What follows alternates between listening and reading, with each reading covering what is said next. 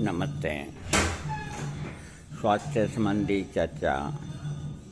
Homeopathic में एक दवा, जिसका नाम फास्फोरस तीस पोटेंस ये एक ऐसी दवा है, जो रोज़मर्रा में इतनी काम नहीं आती। बाकी इसका जो कार्य क्षेत्र है वो बहुत विस्तार है। और कई रोगों की तो ये पेटेंट दवा है मोतियाबिंद से लेकर के। फॉस्फोरस के अंदर जो माचिस होती है, उस पर जो अपन तिली रगड़ते हैं और वो जो चढ़ा हुआ मसाला होता है, वो फॉस्फोरस होता है। तो माचिस के ऊपर तिली रगड़ने से क्या पैदा होता है? आग पैदा होती है। और आग के अंदर क्या होता है? जलन। तो फॉस्फोरस की जलन वैसी ही होती है। तीन चार दवाइयाँ मुख्य है होम्योपैथिक में, जिसमें प्रचंड जलन होती है। फॉस्फोरस की जलन का मैंने बताया आपको। इसकी कॉम्प्लीमेंट्री दवा आर्सनिक एल उसमें भी जलन होती है और इसकी एक और कॉम्प्लीमेंट्री दवा कार्बो वेजिटेबलिस उसकी जलन जैसे कोयले धधकते हैं, वैसी होती है। इसलिए फास्फोरस के पहले फास्फोरस के बाद में कभी भी आप कार्बो वेजिटेबल्स या आर्सनिक एल ले सकते हैं। अगर ये पूरा काम नहीं करती है तो या इसको लेने के बाद आपको कोई परेशानी आए तो आर्सनिक को भी तीस से ऊपर नहीं लेना चाहिए 200 तक भी ले सकते हैं। कार्बो वेजिटेबल्स को आप तीन पोटेंसी लेके थरियक से लेके, एक लाख पोटेंसी तक भी लेंगे तो वो आपको कोई हानि नहीं करेगी, क्योंकि वो कोई इतनी तीव्र चीज़ से नहीं बनी, वो कोयले को शक्तिकृत करके बनाई गई है, और फिर ऑक्सीजन दायक है। तो आदमी को कम ऑक्सीजन से जो तकलीफें होती है, जैसे किसी को कमरे में बंद कर दिया, पाँच मिनट बाद ही वो कहेगा, पंखा चलाओ। तो कार्बो वेजिटेबलिस के पेशेंट की जो ये समस्याएँ होती है तो बीमारी और कुछ भी हो वो कहेगा, पंखा चलाओ, फुल कर दो। लेकेसिस के अंदर भी ये लक्षण है, उसका रोगी भी पंखा चलाने को कहता है, लेकिन वो कहता है कि इसको दूर रखो। पहले टेबल पंखे थे, दूर रखो तो ये जो सीलिंग फ़ैन है तो उसकी स्पीड कम कर दो। जबकि कार्बो वेजिटेबलिस का पेशेंट कहेगा, फुल कर दो। एक नहीं, दो लगा दो, तीन लगा दो। तो इन लक्षणों को समझना अति आवश्यक है। बनस्पत रोग को, आर्सनिक के रोगी को जलन होती है, उसके साथ में बेचैनी होती है। बेचैनी होती है, बेचैनी के अंदर उसकी शक्तिहीन हो जाता है वो, रोग भोगते भोगते। और शक्तिहीन होने के बाद उसमें उठना बगना चलना, ये ताकत नहीं देती। ऐसा जो दुबला पतला कमज़ोर रोगी है, उसको आर्सनिक एल सबसे अच्छी पोटेंसी है, तेज पोटेंसी देना चाहिए। देखो, मैं अपने हिसाब से ही आपको फॉस्फोरस के बारे में समझाऊँगा। वरना फॉस्फोरस का जो आर्टिकल है, कम से कम दस पेज के अंदर है, जिसको अगर मैं लगातार बोलूँ तो दो ढाई घंटे लगें। इसलिए आपको समझ में आए, वैसी ही मैं बात करूँगा। जो झिल्लियाँ होती है, वो उत्तेजित होती है। और नाड़ी के अंदर हल्की जलन उत्पन्न होती है तो इसकी वजह से लकवा रोग भी हो सकता है। ये हड्डियों को विशेष करके निचले जबड़े और पैर की लंबी हड्डी को, खून को जो दूषित हो जाता है, ठीक करती है। फास्फोरस, इससे रक्तवाहिकाओं तथा शरीर के प्रत्येक तंतु मध्यजनक अपकर्ष उत्पन्न होता है और पीलिया रोग तक हो जाता है, उन सबको ये ठीक करता है। ये शरीर के पोषण अर्थात चपापचय क्रिया को नष्ट करता है। लीवर में सोजन उत्पन्न करने की कारण बनती है, यानी कि लीवर में अगर सोजन है तो फास्फोरस की एक दो खुराक तेज पोटेंसी में लेनी चाहिए। चमड़ी पतली है तो भी लेनी चाहिए। शरीर के अंदर से रस, रक्त की हानि हो गई है तो भी फास्फोरस उस कमज़ोरी को ठीक करती है। और इसके अलावा फास्फोरस का इसका जो रोगी होता है, उसका उत्साह कम होता है, मानसिक लक्षण मायना रखते हैं। रोगी का मन चिड़चिड़ा होता है, डर लगता है और रोगी को ऐसा लगता है कि हर कोई हर कोई चीज़ रेंगती हुई बाहर निकल रही है तथा दिव्य दृष्टि जैसी दशा उत्पन्न हो जाती है। अचानक रोगी चौंक पड़ता है। रोगी को बाहरी प्रभावों के प्रति अधिक असहिष्णुता और रोगी को सोचने की शक्ति कम हो जाती है। रोगी पागलों की तरह व्यवहार करता है। कुछ लकवा रोग जैसे भी दिखाई देते हैं। आनंद की अनुभूति नहीं होती। अकेले रहने पर मृत्यु का भय लगता है। मृत्यु का भय अकेले रहने पर लगता है। ये लक्षण एकोनाइट का भी है, लेकिन एकोनाइट का रोगी बलिष्ठ होता है।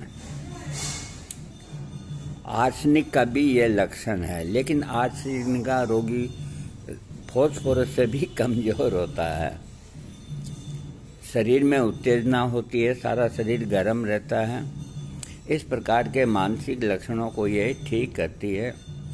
इसके रोगी के सिर के जो लक्षण है, बूढ़े व्यक्तियों को चक्कर आते हैं।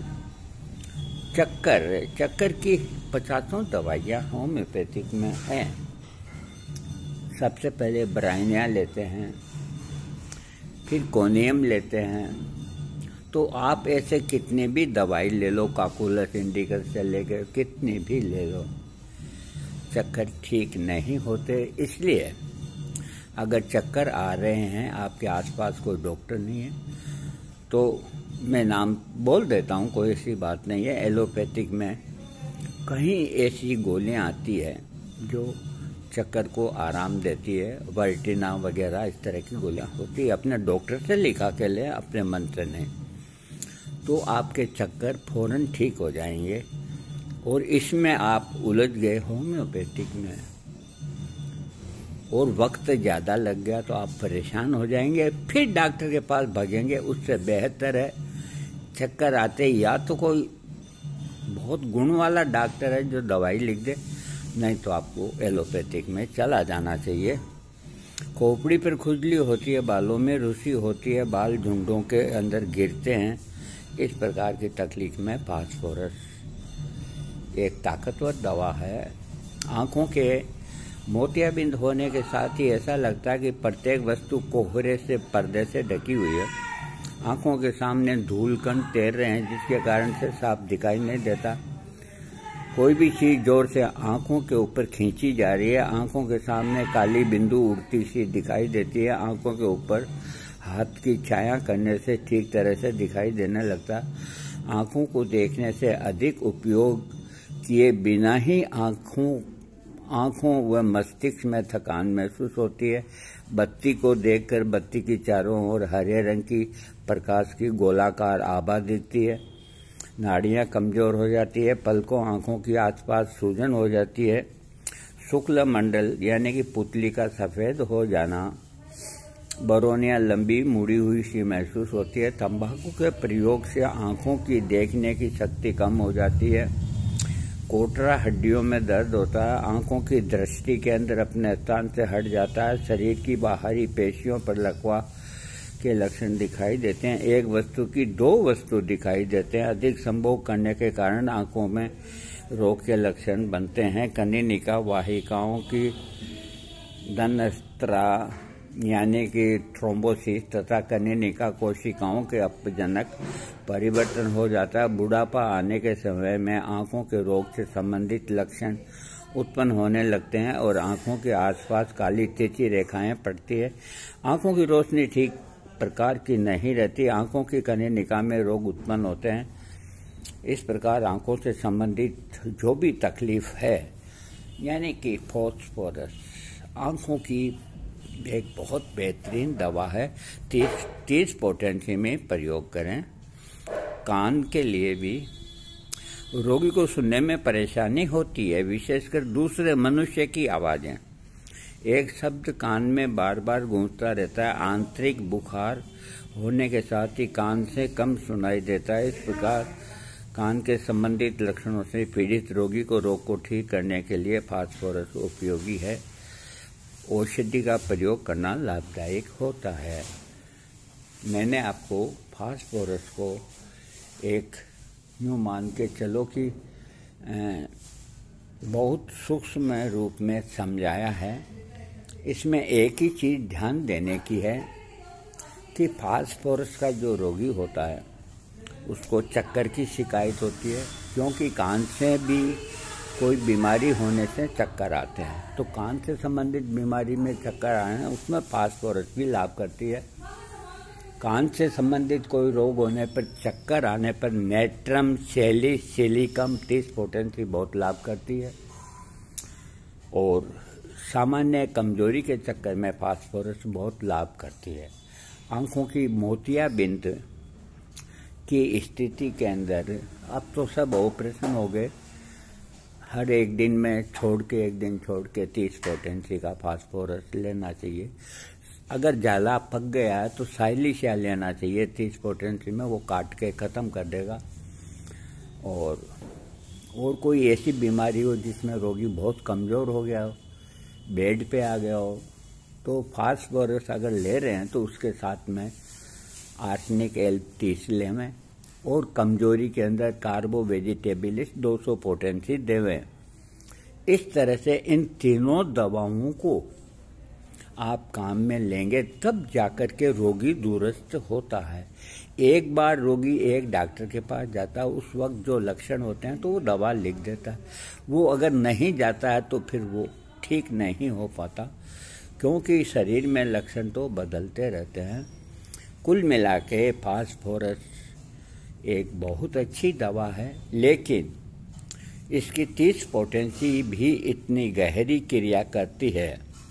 इसका क्रिया स्थिति काल 90 डेज़, नब्बे दिन तक इसकी क्रिया शरीर में रहती है तीस पोटेंसी की। आर्सनिक एल की भी नब्बे दिन रहती है और लेकेसिस की भी नब्बे दिन रहती है, जबकि नक्स भूमिका की और एकोनाइट की। कुछ ही घंटों रहती है। तो आपने अगर नक्सोमी का एकोनाइट का गलत प्रयोग भी कर लिया है तो कोई थोड़ी बहुत उनसे आपको तकलीफ़ भी होगी तो दो चार घंटे में ख़त्म हो जाती है। लेकिन अगर इन दवाओं को तीनों में से एक, आर्सनिक एल्ब और लेकेसिस और ये फॉस्फोरस इनका प्रयोग बहुत सोच समझ के करें, वरना इसकी जो तकलीफ़ है, वो नब्बे दिन तक आपको तीस पोटेंसी की तकलीफ़ दुख देती रहेगी, आप अपना अलग से इलाज कराते रहेंगे। आपको पता भी नहीं चलेगा कि ये तकलीफ़ किस वजह से हुई है। इसलिए फास्फोरस का लेकेसिस का आर्सनिक एल्प का जो गुड़ क्रिया करने वाली मेडिसिन हैं उनका प्रयोग आप अपने मन से न करें और अपने डॉक्टर की राय से करें और बराबर उसको रिपोर्ट देते रहें। आज भाई दूज के दिन सबको मेरी हार्दिक शुभकामनाएँ, ढेरों बधाइयाँ। बहन भाई का ये त्यौहार मंगलमय हो सबको। थैंक्स।